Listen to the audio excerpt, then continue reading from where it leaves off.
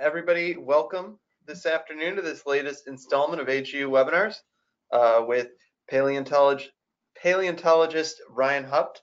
I'm Nathaniel Janik, and I'll be your host for today's webinar titled Dissecting Jurassic Park's Dinosaurs. Uh, a few logistics to cover before we begin. Uh, throughout the session, we're going to be using some of GoToWebinar's tools to help you interact with us and your fellow audience members. Uh, first and foremost, we'll be doing a Q&A at the end of the session. So if at any point during this presentation there's something that particularly strikes you, uh, type it into the question box. You're going to find that in uh, in the questions panel of your dashboard, which is probably on the right-hand side of your screen. Um, and and feel free to type in as many questions as you'd like. At the end of the presentation, we're just going to go through as many as we can. Uh, secondly, we'll be asking you some questions as well during the presentation through the use of polls, uh, which I'm going to do in just a moment uh, with the first one. Um, and then lastly, uh, this webinar is being recorded. Uh, you'll receive a link to it a little bit after the webinar is over. you'll get one that's like an immediate, this is the exact live version, but you should get another link a few days later that'll be the sort of cleaned up uh, version as well. Uh, so with all that logistics out of the way, I'm going to start off with our first poll, uh,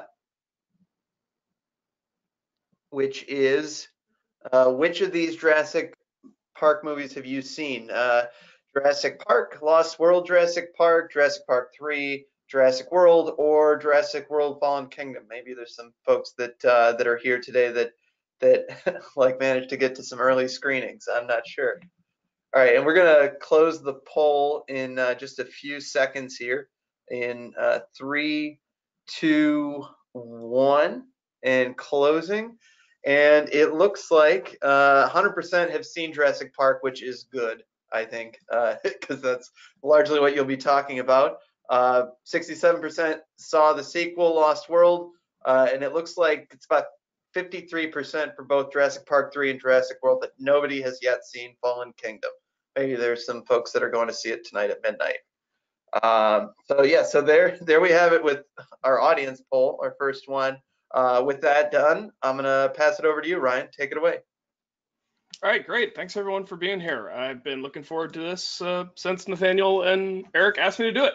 So uh, we're gonna be talking about dinosaurs today, a little bit of background on myself. This is me as a child, uh, showing off my early fascination and obvious knowledge of dinosaurs at a theme park. But as I grew up and ended up going to college, I took a course about the natural history and evolution of dinosaurs that reminded me that, like, oh, I actually still really like dinosaurs. I haven't actually outgrown this uh, in adulthood, and I ended up working in a paleontology in a paleontology lab at the University of California, Santa Cruz, uh, Dr. Paul Koch's lab, and he mostly does uh, the paleontology of mammals. So I ended up actually kind of switching gears from dinosaur paleontology to mammal paleontology. So now my primary focus is sloths, and I work with both modern and fossil ground sloths, and I kind of try to use some geochemical techniques uh, called stable isotope analysis, if anyone's familiar with that, to examine the diet of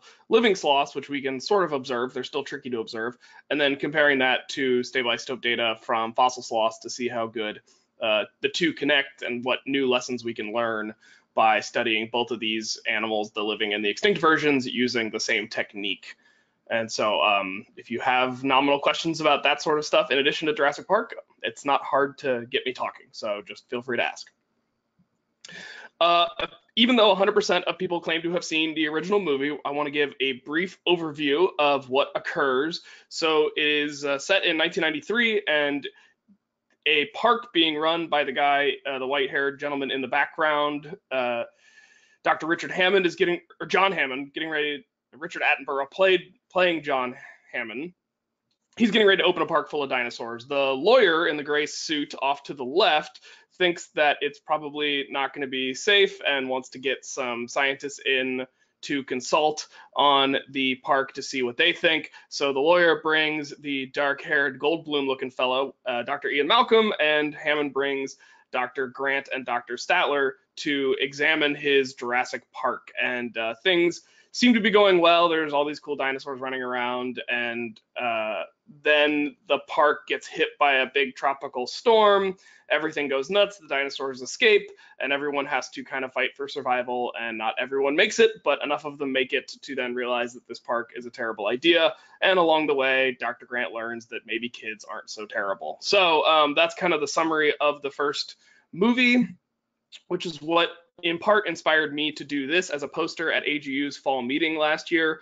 Uh, my co-author Miles and I put together a session that was all about explaining fictional science fiction worlds using actual science. And the idea was that instead of just correcting things or saying this is what they got wrong, let's play along and see if by interacting within the world of these movies and TV shows and comic books and all those other things, can we still get across a legitimate science message, but not sound like we're just being naysayers? So I put together this poster. Uh, he did one on the carbon footprint of superheroes, which is a recent webinar that some of you may have also attended. And so, kind of the meta premise behind my webinar today is I'm imagining that I'm a paleontologist living in the world where my colleagues, Dr. Statler and Dr. Sattler and Dr. Grant, have come back from Isla Sorna. They've come back from this mm-hmm. island off the coast of Costa Rica, and they've been telling this really fantastical tale of seeing real dinosaurs created by this company InGen. So for those of you who don't remember, InGen is the corporation that runs Jurassic Park and provides the technology for the cloning of dinosaurs. And so myself as a paleontologist would have questions about what they claimed to have seen because what they saw isn't entirely consistent with our understanding of paleontology. So I'm sort of imagining that this is like a conference that we're having at one of our, you know, the, the vertebrate paleontology conferences that we have. And I'm asking them directly of like, oh, well, you saw this. Do you think that means that? And so that's sort of the meta premise that I'm going with here. So without further ado, I want to dive into the first claim, which is this idea that they pulled DNA from mosquitoes trapped in fossil amber. So we have a photo here of one of the miners, the diggers for the amber, Juanito Rostagno in the Dominican Republic. Uh, the Dominican Republic is actually known for its amber mines, so that's a real thing. And the problem that we run into is, as you see at the top of the screen, we have a few different time periods in play. So we have the Cenozoic, which is since the extinction of dinosaurs 66 million years ago up till right now. We are living in the Cenozoic. The Mesozoic is everything that uh, the age of reptiles, the age of dinosaurs, as we call it. And it's divided up into three periods the Cretaceous period, the Jurassic period, and the Triassic period. So Jurassic Park is obviously named after this middle period from the Mesozoic. Uh, they guessed Mesozoic Park didn't sound like a good enough good enough title. And then, um, so those are kind of the, the years, the time frames we're dealing with. A really big chunk of time, so almost 200 million years of Earth history is when the dinosaurs were kind of around. Um, a little less than that if you consider the dinosaurs didn't really become super populous until the late Triassic. And below that is a geologic map of Hispaniola. So geologic maps can tell us a lot of information about the underlying structure of various regions. So the different colors on the map correspond to different rock units that have been identified. And then those rock units are usually associated with a specific age. And so the so not every piece of land that you're standing on is going to have the entire Earth history recorded underneath it. You might only have a small section of it. And what we see when we look at this map, it might be a little pixelated for some, but there's only two units here that are from the late Cretaceous. Everything else is outside of the Mesozoic. And so we're not capturing a lot of the Mesozoic with the potential amber deposits in Hispaniola, which is Hispaniola is the island that includes both Haiti and the Dominican Republic. So that's kind of interesting. So that suggests that um, the amber coming out of these Dominican mines, if they have mosquitoes and those mosquitoes have blood in them that can be extracted, uh, we're still only going to capture a little bit of the late Cretaceous.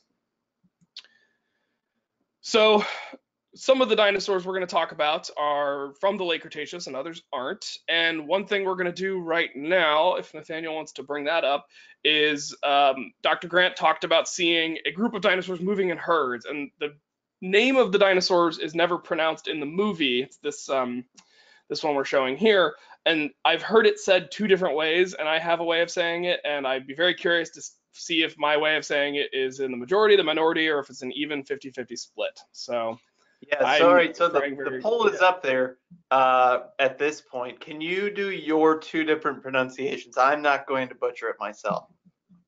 Okay.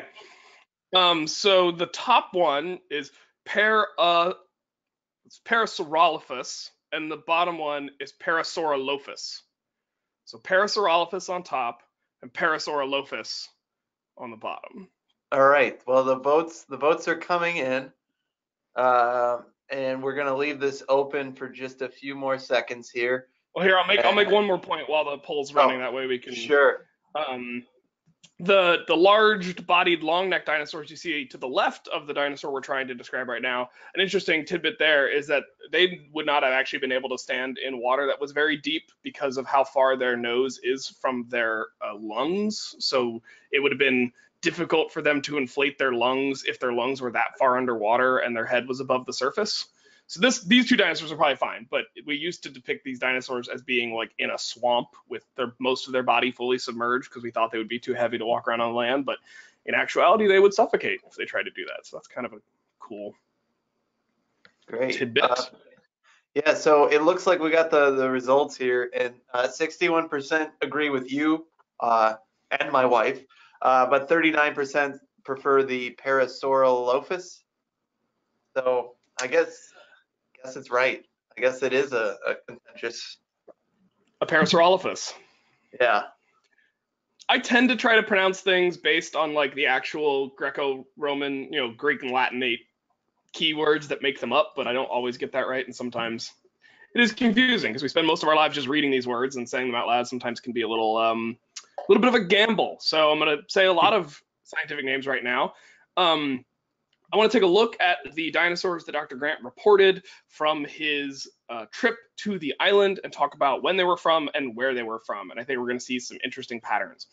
So the first dinosaur is the Dilophosaurus, and that is an early Jurassic dinosaur from North America. So that sort of works. We're kind of in the region of the Caribbean, and we're in the right time frame. Uh, Brachiosaurus, the giant long-necked dinosaur, is a late Jurassic dinosaur, also from North America.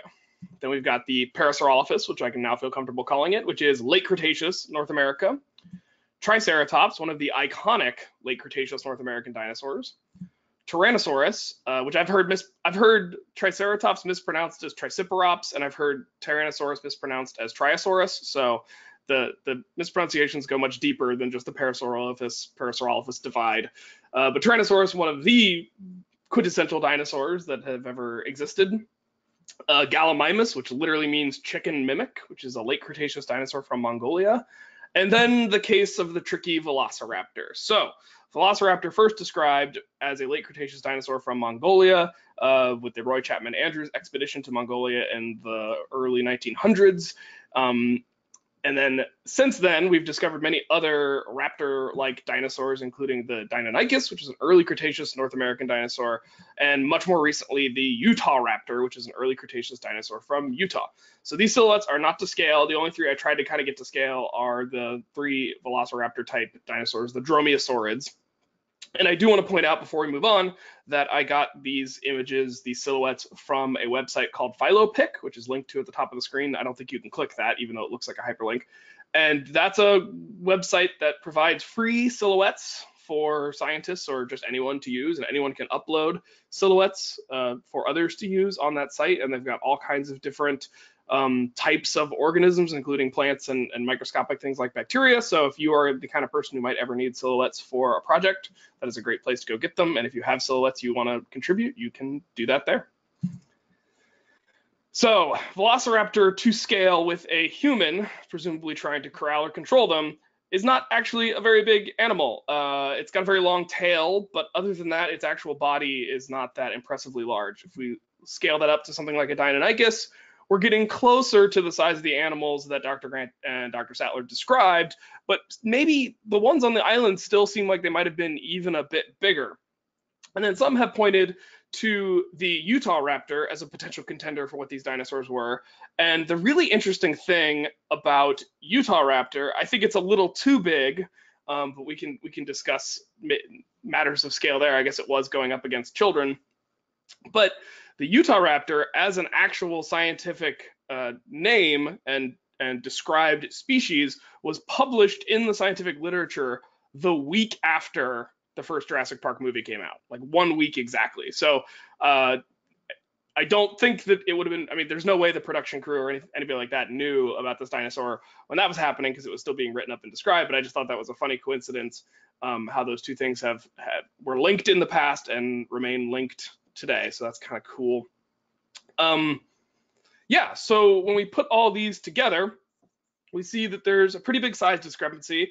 Uh, all these reconstructions are covered in feathers, and that's that's probably accurate. These were pretty feathery animals by this point in their evolutionary history but none of them really quite match the animal that was seen on Isla Sorna, which is actually relevant, I think, because if we were going to pull DNA from mosquitoes in amber and sequence it and grow that animal, the odds that we would always get animals we knew about is actually very low, I think. Um, the odds of us sequencing it and getting a completely new species that we've never seen before, I think are higher. So I think it's possible that if we actually had the technology to pull amber out of mosquitoes and sequence it and grow it into an actual organism, we would probably hatch some dinosaurs and other types of animals that were new to us and hadn't been found in the fossil record yet. I think that would be an inevitable consequence of the development of this technology. And then one last thing is, uh, I know Dr. Grant, when he deals with annoying children, sometimes likes to compare dinosaurs to birds, especially a big turkey. And I think it's pretty interesting that in real life, uh, the turkey velociraptor comparison is actually pretty on point for size comparisons. So a turkey really isn't a bad thing to compare to a velociraptor. And if you've ever been um, chased or or threatened by a large male turkey, it's uh, I think you you would still feel some fear. So I don't think that's a an inaccurate description to make. All right, so getting back to where each of these dinosaurs have been found in the fossil record, we have our North American group, and these do not represent the exact fossil sites that have produced these animals, but just kind of the general continental representation. Then we kind of have an Asiatic group, and as you can see, that's all of them are pretty far from Hispaniola. So the odds that a mosquito bites a triceratops that's living in what is now present day Wyoming, and then that mosquito manages to fly across the Caribbean Ocean to an island that might not even be there yet, land, die, get covered in the sap. Like the odds of that are just astronomical. Uh, possible, but I would say maybe not super probable, and maybe not probable enough to get an entire operational park up and running and off the ground. Um, for those curious, the me double checking where all these animals were from is uh, helped in part, in large part, to this tool called the Paleobiology Database. And so, if uh, any folks out there are curious about fossils or want to learn more about extinct animals, this is a great place to go. You can search any taxa out there. It's um, run by scientists for scientists, and so everything gets put up here um, for other scientists to use. So, if you've published a new description of a fossil, you would put some of the information of that that description here in the paleobiology database, or as we call it, the PBDB, and everyone else can access it. And it has like mapping tools and um, all kinds of really just useful ways to look up quickly and display fossil data for any sort of project that you might be interested in doing. So just wanted to put a plug in for that as we move forward. And I think the ultimate implication of showing that these animals we're not living in the Caribbean as far as we know, and we're pretty far dispersed around two different continents. Is that the parasites I don't think are the true source of the amber for the park's specimens. And I think if I can do a little foreshadowing here, we have an idea of where the DNA might actually be coming from. So the second claim that I want to touch on when it comes to the dinosaurs is that of size. And I think so. Here's the brachiosaur. We talked about that earlier. And then Nathaniel, do we end up doing a question for this one or?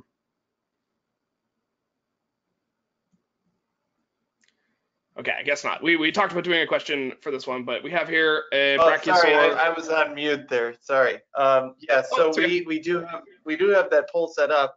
Um, if everybody can take a look at this picture, uh, I want you to uh, say what's wrong with it. Uh, so you can select more than one. The options are the eucalyptus trees, the size of the dinosaur, uh, the grass, or Dr. Grant's fashion sense. Ouch. Uh, yeah, sorry, I, that, that was a late ad. Uh, so uh, I'm gonna give everybody a few more moments to uh, respond, and I'm gonna close the poll in three, two, and one. And it looks like uh, it looks like we've got 45% say yes, size of the dinosaur. Another 30% say the grass, and 35 say eucalyptus trees. Only one in five people say that there's a problem with Dr. Grant's fashion sense. So I think those people are on the right side of history. um, okay, so yeah, so one of the things that uh, I, I, have used versions of this kind of presentation when I've taught dinosaur-based classes to um, talk about just various things going on in each of the scenes of Jurassic Park. It's a very rich movie, a lot of detail to talk about. And um, grasses, uh, so if this dinosaur actually was from the late Jurassic, there would not have been grass. Grass would not have evolved yet, nor probably would eucalyptus trees have evolved. But in particularly, what's problematic about this particular uh, scene that Dr. Grant and Dr. Sattler described is that the Brachiosaurus is consuming eucalyptus, which is not probably a good plant for it to be eating. It, if anything, it might even be toxic to the animal. So I would be very concerned about the park's ability to actually uh, provide appropriate husbandry for these animals since they don't seem to even be aware of what they should be eating. So, and then keeping them away from plants that that could do them bad. As a as a person who works with sloths, which are very picky eaters, this is something I think about a lot. Let's see. Okay, so one of the other issues for the folks who said size is that these animals on the island appear to already be fully grown. And that's saying something if the technology that was developed in 1993 was supposed to be cutting edge for 1993, then the odds of them having full grown animals it changes a little bit because we know that these animals didn't hatch fully formed. Their eggs were big, but not that much bigger than the biggest eggs we see on the planet today, which would be something like an ostrich egg. An ostrich egg is as large as eggs get on Earth. Dinosaur eggs, bigger, but not so much bigger compared to how much bigger a Brachiosaurus is to a full grown ostrich. And so what this study here did is they looked at the histology of the bones of these animals to determine, based on a number of different bones, if they could tell if the animal was still growing or not. And you can do that in a couple of different ways. And then they fit the um, estimated mass of the animal on the y-axis against the age of the animal on the x-axis. And then where the white triangle is, is when they assume the animal is about half grown, so mass of 50%. And then where the black triangles are, that's where they assume the animal is about 90%, so almost fully grown.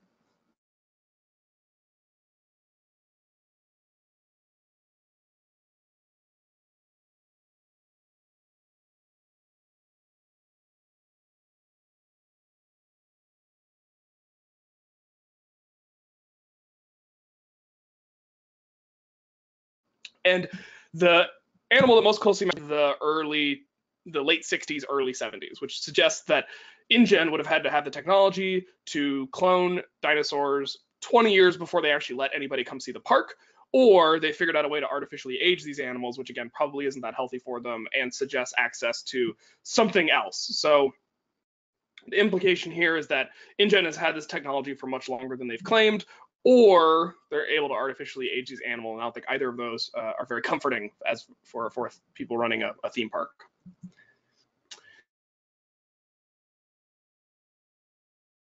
Patient talks about how the DNA uh, sequence from the mos mosquitoes is full of holes, and that's true.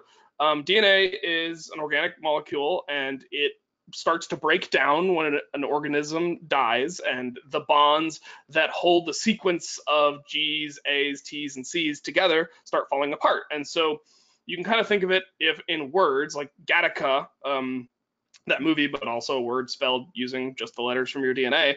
Uh, so Gattaca, if you cut it in half and then jumble the the two pieces up, you might not know that that word said Gattaca anymore. And every time you cut it in half, you're losing more of the information about how that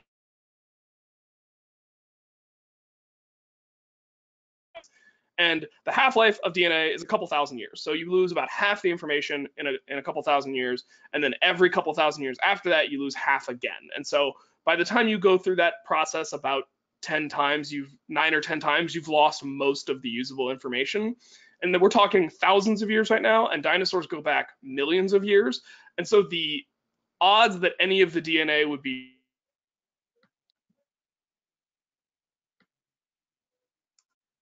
Uh, yeah. Uh, hey, Ryan, uh, you're you're cutting out a little bit uh, the past couple of slides. Be readable in Uh, a way that can be sequenced and synthesized is sorry. I, I was just saying uh, your your your audio was cutting out a little bit. I just wanted to to, to uh, let you know.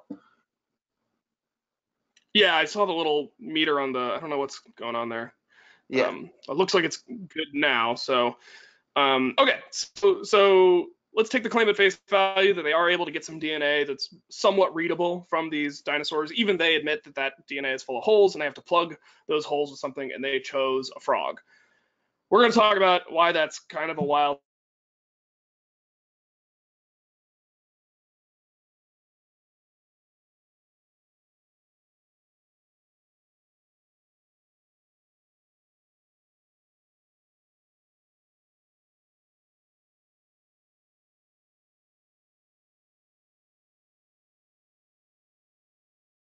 Yeah, I think I think you're cutting out a little bit more. Um, I'm going to jump in here for a half second because I know that there there is a poll. claim. So this okay. Oh, okay, yeah. So I'm I'm going to jump in here with this poll and and hopefully it'll let the uh, uh, connection on your side catch up a little bit. So the poll is which of the following is the closest relative to the dinosaurs? Uh, is it frogs, crocodiles, uh, birds, or humans? Uh, and I'm going to give everybody a few seconds to vote here, a few more, uh, and uh, we're going to close it in three, two, and one and share it. And it looks like uh, looks like 86% said birds and another 14% said crocodiles. Uh, hopefully the connection has come back now. So we're going to pass it back to you, Ryan, um, and you can do a little bit more about that. Yeah, uh, yeah, great. Awesome. Okay, sorry about that, everybody. I will hope that the uh, the Wi-Fi holds better here as we move ahead. and yes, most of you are well informed. So the closest living relative uh, to dinosaurs are birds. So close, in fact, that you might as well just say birds are dinosaurs. So when we create these phylogenies and these cladograms, we try to give we try to create what are called monophyles, which is where one common ancestor and all their living or all their descendants make up a single group. And so in the case of Dinosauria, you have the bird-hipped dinosaurs like this Triceratops there.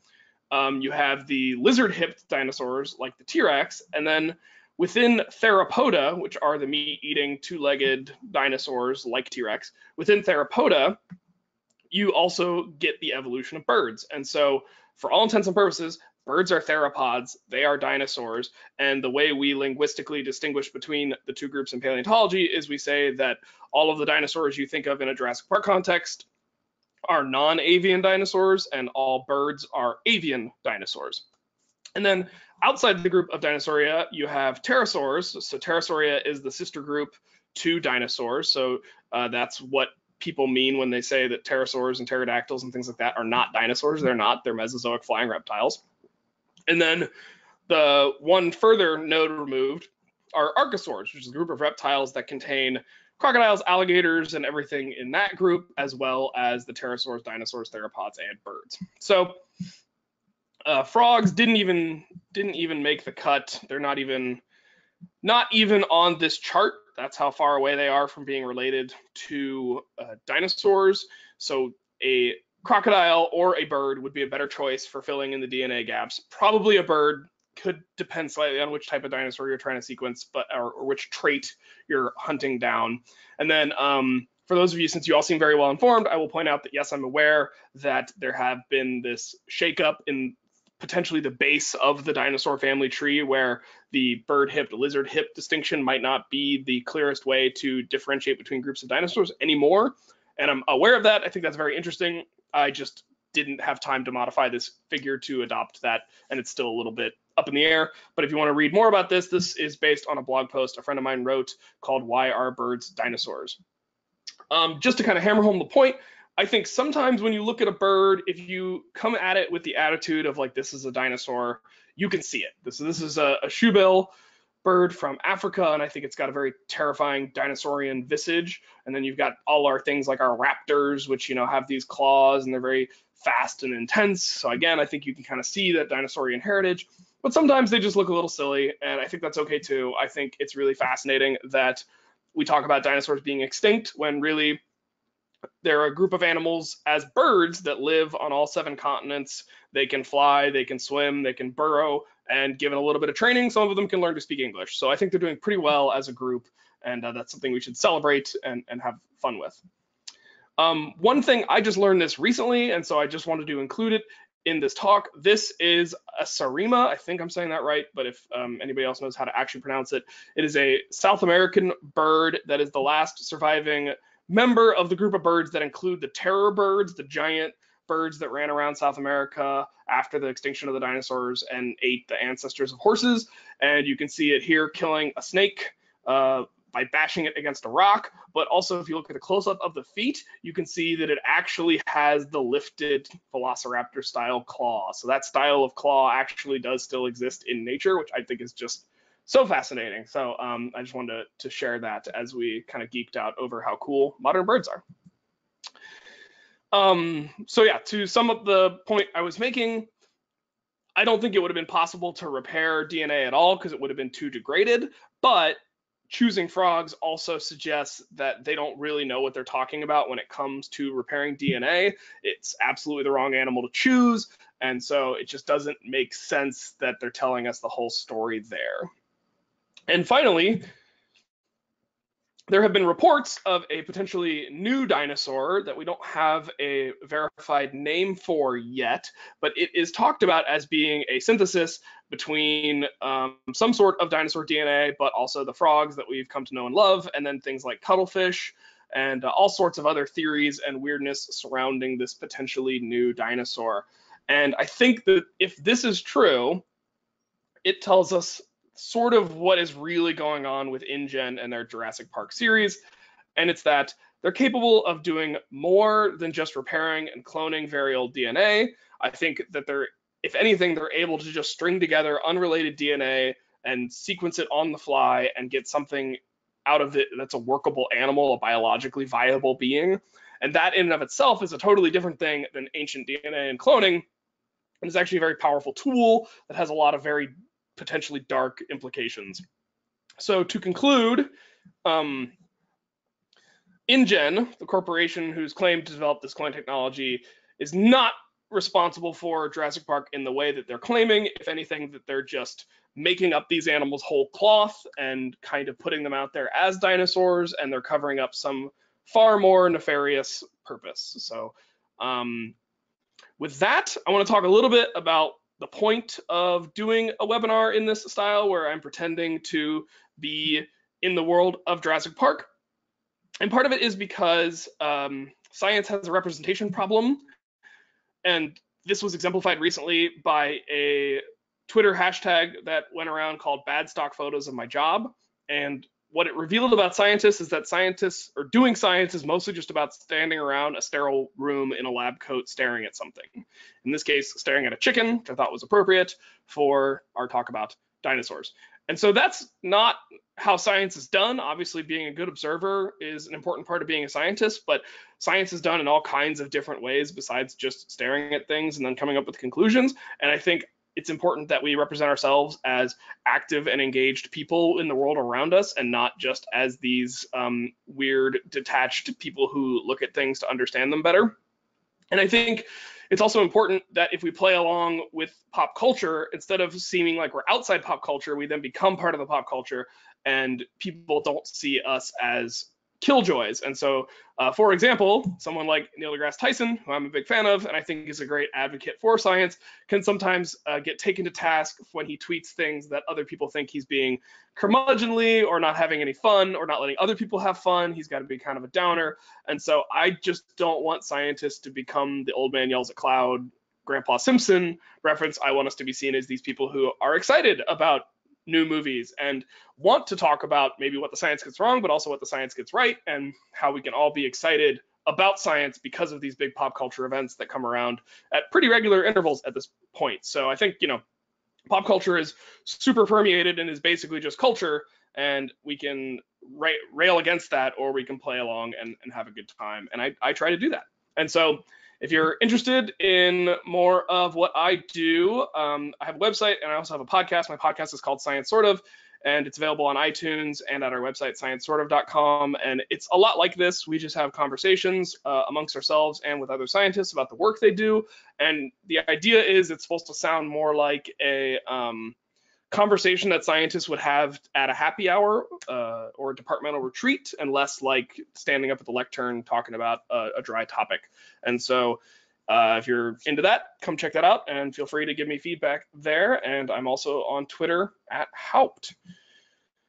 And so with that, I want to open up the rest of our time for questions from the attendees because I think there's a lot to talk about here and I'm really curious to hear what you guys have to say.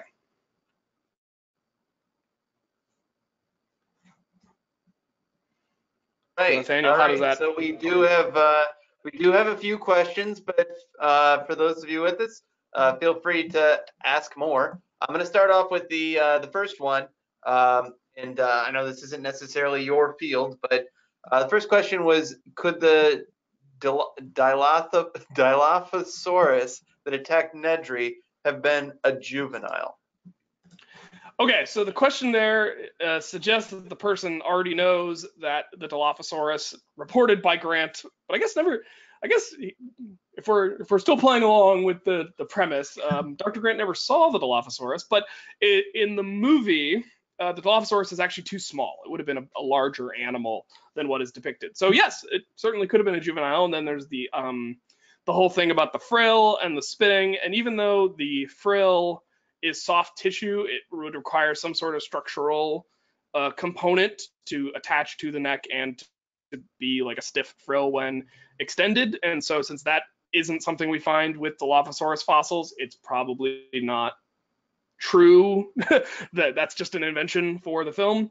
And then the spitting acid, uh, acid poison saliva is also not something that's supported in the fossil record, but would also be kind of a hard thing to find in the fossil record. So could certainly be a juvenile, but it's you know it's a pretty adept and precocious juvenile if it's already figuring out how to get inside vehicles and and hunt things that are almost as big as itself. So that's kind of a yeah, it's it's really going for it. Yeah. All right. So um, uh, the next one that I you kind of touched it with your uh, uh, the the item number four there, but uh, Scott pointed out that uh, we know that the Jurassic mosquitoes are reworked at this point, right? Um, there are amber deposits going back to the Jurassic and Triassic, so we do have amber deposits that old. Um, I, I guess when he's saying reworked, he means reworked in a geologic sense, where they would have been subsumed back by the mantle and lost. But um, we do have some amber deposits that are that old, and I don't know if they have any mosquitoes that are that old, but the, the amber alone is all you would need to, you know, at least have a deposit where you could find mosquitoes. So I don't think that that's necessarily um, completely off the table. Unlikely, but not completely off the table. Yeah. All right. So we have another one, and I, I kind of brought this up, I think, when you first asked the question to me during practice of uh, what's wrong with this picture. But um, Kendall wants to know uh, how would they have gotten the plants at Jurassic Park? Yeah, because obviously That's a great question. Yeah. yeah. That is a great question. I really like that question. Um, the plants, so it's only the female mosquitoes that actually drink blood that are, hemophagous. Uh, male mosquitoes do actually suck the moisture from plants, and um, there are plenty of mosquitoes that are actually pollinators of various plant species around the world. So I guess if you pulled a male mosquito, you would get some plant DNA. I don't know if the the liquid being slurped from plants would have as much DNA as the blood from an animal, but I think that's the the way that could have worked. But yes, Dr. Sattler did report that they also had fossil plants, and so that is a curiosity to be sure. Yeah, and um, and and also it, it kind of shows up on that ge- geologic map, but uh, there don't appear to be any actual Jurassic rocks on Hispaniola. Correct. So that kind of also, I guess, um, especially considering the fact that you um, uh, pointed out that a lot of the uh, dinosaurs were from uh, not not the Jurassic uh, time period. So yeah. Uh, all right. So in uh, were actual paleontologists consulted for the films? Is the next question here. Yeah, I think um, if I remember correct, Robert Bakker was the main guy that they they talked to to make the movies, and there's actually um sort of a facsimile of him. He's mentioned in he's mentioned by name in the first movie. Tim mentions a book by him that he has, and um, I think there's a facsimile of him, a better represent. You know, Grant I think is sort of modeled af- after him in the book. If you read the description of Dr. Grant in the book, and then there's a paleontologist in the second movie that does look a lot like him. So I think that was the main guy they consulted. But you know, Michael Crichton, um, great author when it comes to writing a compelling thriller and an interesting parable about the the dangers of un, uh, unrestrained science, but I don't know that he was the most research focused author, to put it as kindly as I can. Um, in the movie, like I, there's a lot of weird little details of stuff they get wrong, and it's the kind of stuff you would only get wrong if you just didn't even bother. So, like in the book, the island gets bombed by the Costa Rican Air Force, and Costa Rica hasn't had a military since 1952, 51, 52. They disbanded their military after um, World War II. So it's like you're I, I think he just played it fast and loose and just wrote whatever the hell he wanted to write. You know, there are names of dinosaurs that are misspelled in the film, so they didn't even check the spelling, let alone consult with an actual paleontologist about the biology. So. Mm-hmm. Oh, and you brought this up about uh, what they got right. Uh, I like that anecdote that you had uh, mentioned. Oh, I uh, forget what was it. It was it was the on the site at the beginning of the movie when uh, when they're locating the uh, the fossil? Oh yeah. So in the beginning of the movie, when they're brushing, when they're they're finding the easiest fossil in history, all it took was brushing a little sand off of a perfectly articulated and preserved velociraptor, which again from Mongolia. So that either that's a, a new and different species, or they got really lucky in Montana.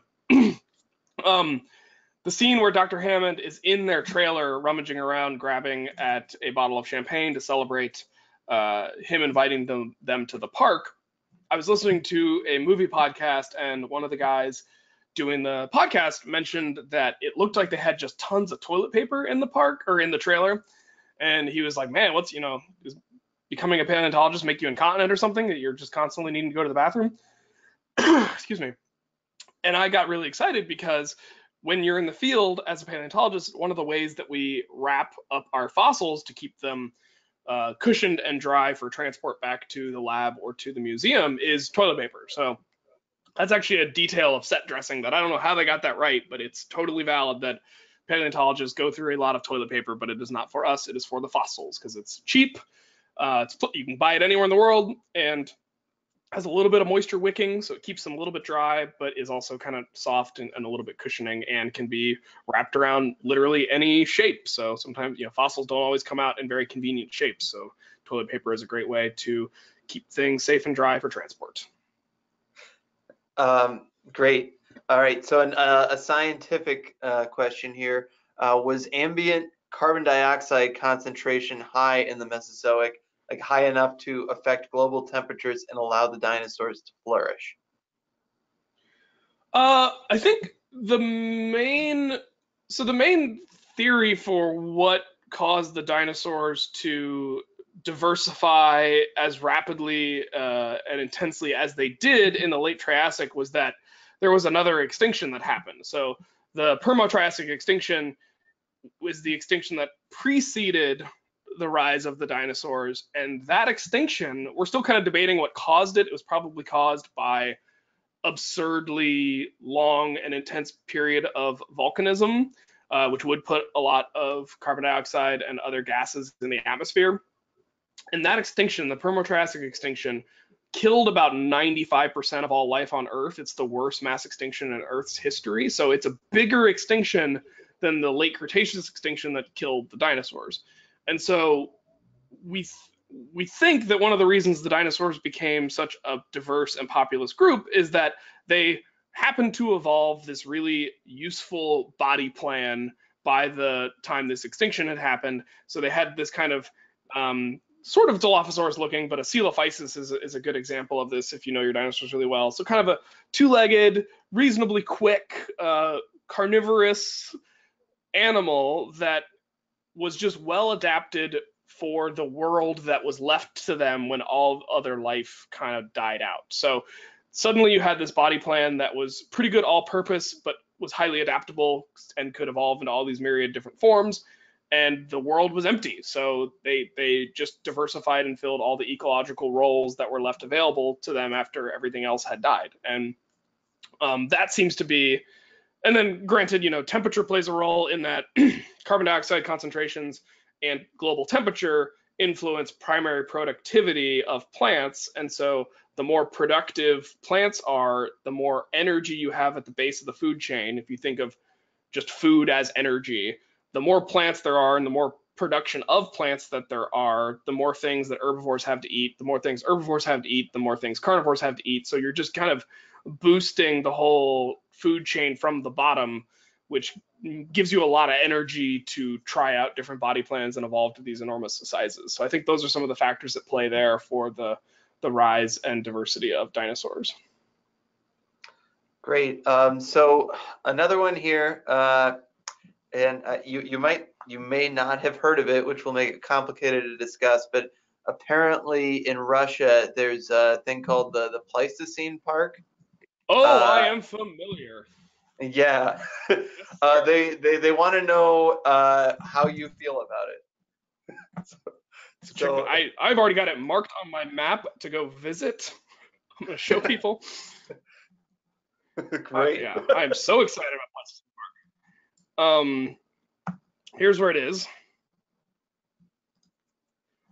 So that's Pleistocene Park. And Pleistocene Park uh, operates on this idea of rewilding. So essentially, the world used to have um, megafauna, which is basically any anything above 100 kilograms sort of counts as megafauna. So that would include most people. Um, so large animals, large enough to influence the environment in particular ways. Ecosystem engineers is sometimes also what they're referred to as. And since the early 90s, there's been a small but vocal group of people who have argued that um, we should reintroduce African animals into like the Great Plains and Texas to bring back the megafauna that went extinct at the end of the Pleistocene, at the end of the last ice age. So that's things like um, elephants to replace the woolly mammoths, cheetahs to replace the extinct American cheetah, lions to replace the extinct American lion.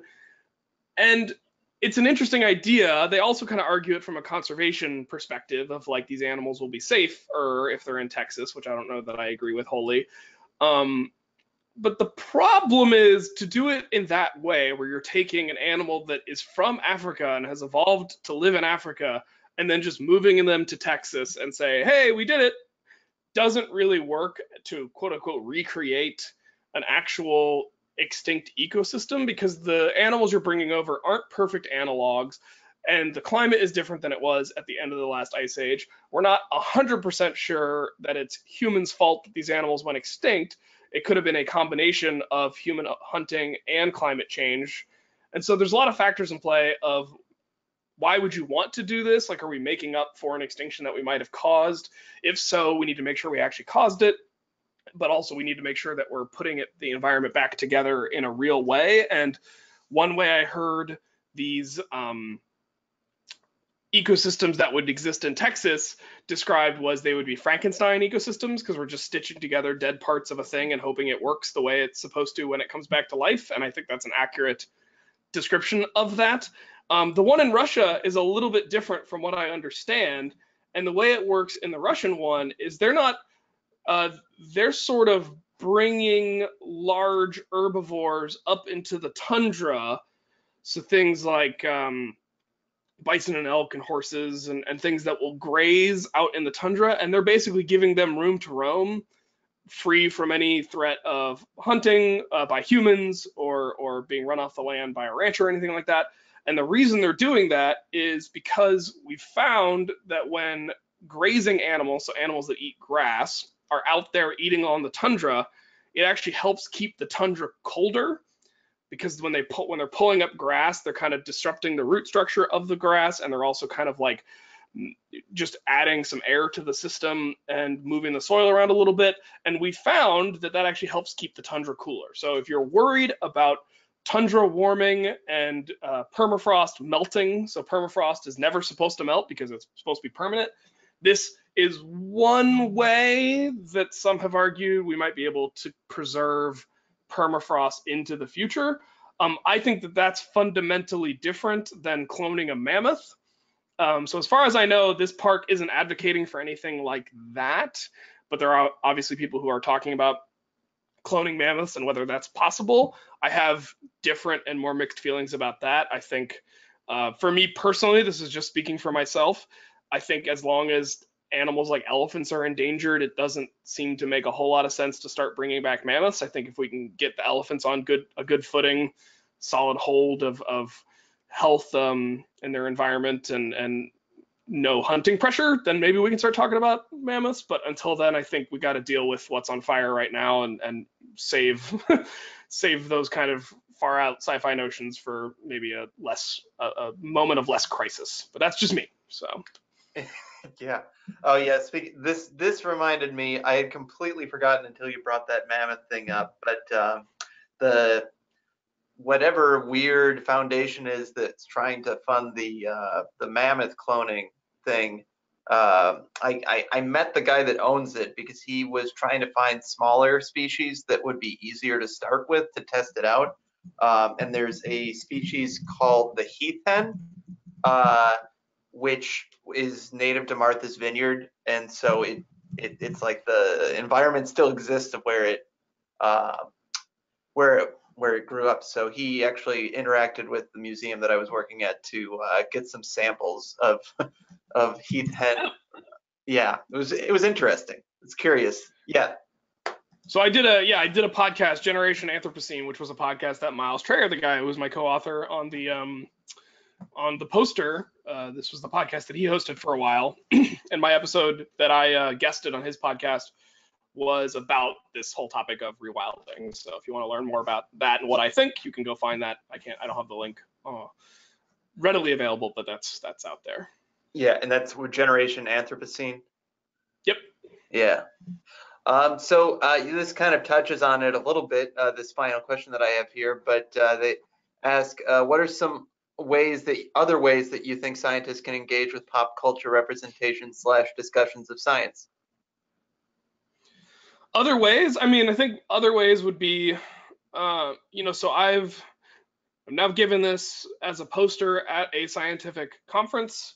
I've given this as a talk at a science fiction convention, so a science fiction convention in Baltimore that actually has a, a fair amount of science programming. So I think um, as a comic book fan, the convention scene is a really welcoming environment for this kind of content, and people will actually show up.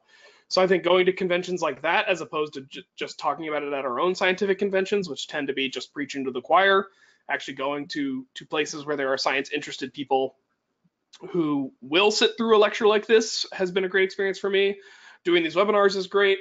Um, I know Twitter is a real mixed bag of nonsense, but there's actually a very active and in my experience positive science communicator community SciComm as it's often called uh, community on twitter so I've, I've had really good and positive interactions there and then Um, for me personally, you know, I've been doing the podcast for almost 10 years now. The podcast is great. It's certainly speaking to a specific kind of audience. It's the kind of audience who want a who even know what a podcast is and then want a science podcast. So that's not the biggest group. And it's also it's a very broad reaching thing. Like a podcast or a thing like a webinar, anyone in the world who has an internet connection can show up to a webinar or get a podcast. And so I've tried to been thinking about other ways that I as a scientist can contribute to my actual community. And so I've been trying to do things that are also not just on the internet, but have a more community focused uh, angle. So I've, I've started judging anytime somebody asks me to judge a science fair, I say yes if I can, my schedule permits, and that's been really great. And obviously that's not doing it in a sci-fi way, but it, it's it is the opportunity to go talk to young people and give them a positive encounter with a scientist that they might not get otherwise. And I think volunteering, you know, schools I found are often looking for STEM educated people to help supplement uh, what teachers are able to to teach, just in terms of having another expert in the room or specific subject matter, or coming and talking for a career day about careers in STEM um, are all things that I found teachers to be very excited about and very engaged with. And so I think just letting your people in your community know that you're available as a scientist or as a STEM person to show up. Um, it's that sort of, you know, it's like the when they talk about voting, like democracy is decided by who shows up. And I think science outreach and science communication is also largely driven by who shows up. And so showing up and being excited and not just being a naysayer. And I think um, I didn't really talk about this in my talk, but from a big picture perspective, there's a lot of bad news that scientists have to give the world. Um, we're the ones telling everyone that climate change is real and that vaccines work and that evolution is real. And so it's things that people don't always want to hear.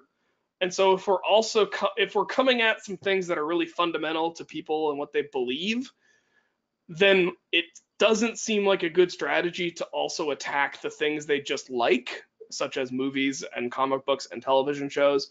And so I think if we can also say we like those things and say it legitimately in a way that is believable because we're also having fun with it, I think then it makes it a little bit of an easier pill to swallow when we have bad news. If we're always giving bad news, I think it's easier to ignore us than if we have fun and then give the bad news. Or it doesn't even have to be in that order, but just like if there's a little bit of both and not just, oh, don't talk to that scientist. They're just a they're they're a downer and they never want to have fun. Everything's grim and grim and awful and terrible and getting worse. And so let's go do something else. Instead, if you can, yeah, just that's I don't know. That's a rambling philosophical point about the importance of liking the sure. things you like and then also yeah trying to talk about the things that are really important yeah, and uh, just some some uh, shameless self promotion from AGU.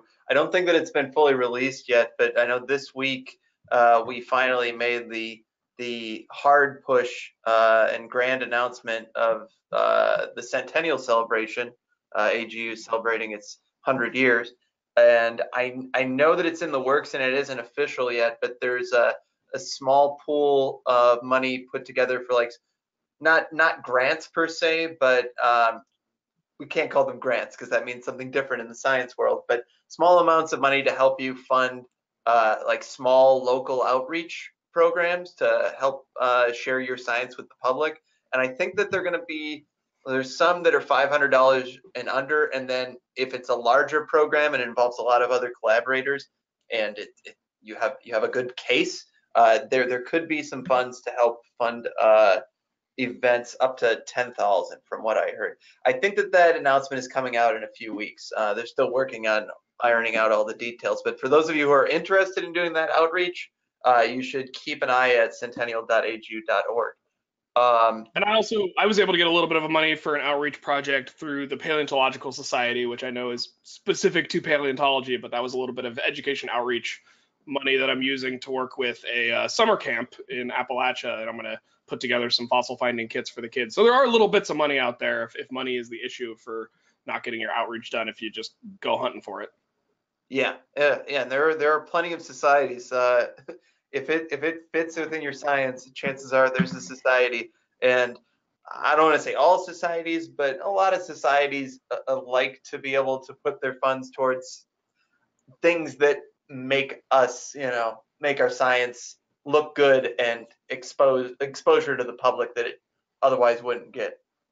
Uh, so I have one final question here uh, before we close out, and that is, what is your favorite scene or moment from the Jurassic Park movie?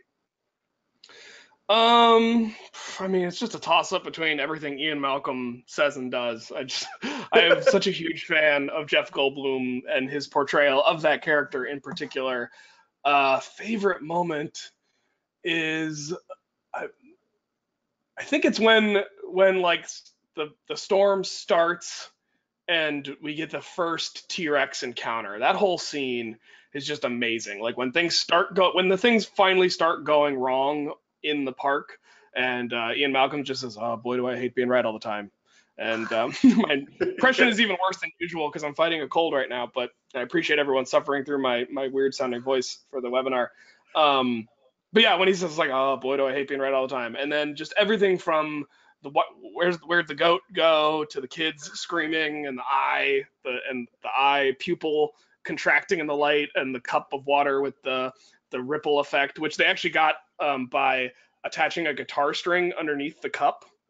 So it's somebody stroking a guitar string to get that perfect concentric ripple coming out because they weren't able to get that effect any other way. And then just the roar, the roar of the T-Rex is such a well-designed sound. Um, you know, it's it's a combination of gator, tiger, because alligators are actually the world's loudest reptile. If people didn't know that, American alligators. If you want to look up alligator, American alligator noises, the the noise that the males make for mating is like this deep rumble that actually causes the water next to them to shimmer and like jump around. It's really cool. So well. American alligator, tiger, lion, and then baby elephant trumpet is where that kind of high pitched note from the T-Rex comes in. So uh, I just that ah. whole sequence is is fantastic. Well, great. That's a great, great, great response.